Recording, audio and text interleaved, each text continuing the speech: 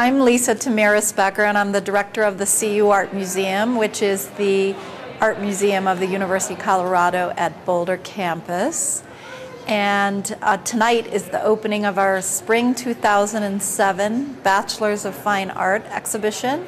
And it's always an extremely festive occasion of uh, students that have completed their undergraduate work and are going to go out into the world as young artists. So we love hosting this and giving those artists um, a sense of what it's like to interact with a professional art museum. In addition to these kinds of graduation exhibitions, we also have a permanent collection and do major national and international scope curated exhibitions.